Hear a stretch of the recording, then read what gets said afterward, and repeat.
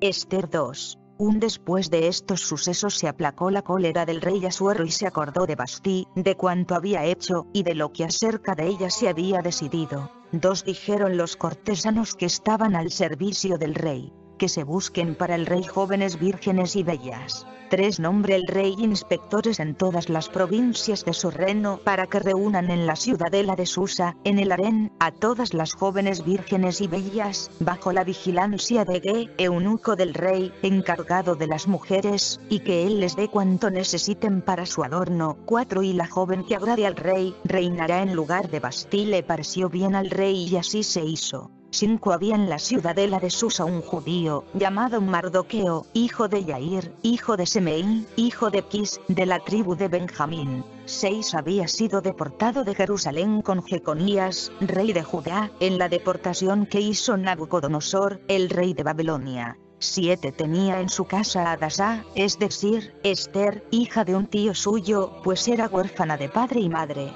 La joven era hermosa y de buen parecer, y al morir su padre y su madre, Mardoqueo la adoptó por hija. 8. Cuando se proclamó la orden y el edicto del rey, fueron reunidas muchísimas jóvenes en la ciudadela de Susa, bajo la vigilancia de Ge. También Esther fue llevada al palacio real y puesta bajo la vigilancia de Ge, encargado de las mujeres. 9. La joven le agradó y ganó su favor, por lo que se apresuró a proporcionarle cuanto necesitaba para su adorno y mantenimiento. Diole también siete doncellas elegidas de la casa del rey y la instaló, con sus doncellas, en el mejor departamento del harén. 10 Esther no dio a conocer ni su pueblo ni su origen, pues Mardoqueo la había mandado que no lo dijera. 11 día tras día, se paseaba Mardoqueo delante del patio del harén para enterarse de la salud de Esther y de lo que le sucedía. 12 a cada joven le llegaba el turno de presentarse al rey Asuero al cabo de 12 meses, según el estatuto de las mujeres.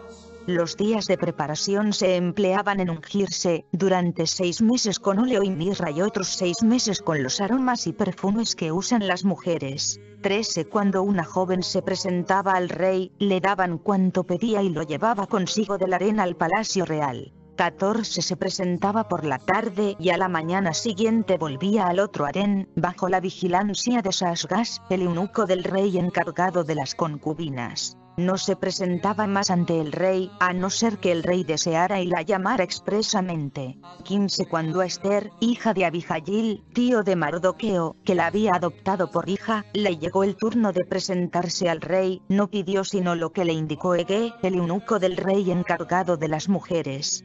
Esther se ganaba el favor de cuantos la veían. 16 Esther fue presentada al rey Asuero, en el palacio real, el mes décimo, que es el mes de Tebet, en el año séptimo de su reinado. 17 Y el rey amó a Esther más que las otras mujeres. Halló ella, en presencia del rey, más gracia y favor que ninguna otra virgen, y el rey colocó la diadema real sobre la cabeza de Esther y la declaró reina, en lugar de Bastí. 18 Ofreció el rey un gran banquete a todos sus jefes y servidores, el banquete de Esther. Concedió un día de descanso a todas las provincias y repartió presentes con real magnificencia. 19 Cuando Esther pasó, como las otras jóvenes, al segundo harén, 20 no reveló ni su origen ni su pueblo, tal como se lo había ordenado Mardoqueo pues Esther seguía cumpliendo las órdenes de Mardoqueo como cuando vivía bajo su tutela. 21 Por aquellos mismos días, estaba adscrito Mardoqueo a la puerta real. Victán y Teres, dos eunucos del rey, guardianes del umbral, estaban irritados y andaban buscando poner la mano sobre el rey Asuero. 22 Llegó el hecho a conocimiento de Mardoqueo, el cual se lo comunicó a la reina Esther, y Esther se lo dijo al rey, en nombre de Mardoqueo. 23 Se investigó el caso y resultó verdadero, por lo que fueron colgados los dos del madero y se consignó por escritos, en los anales, en presencia del rey.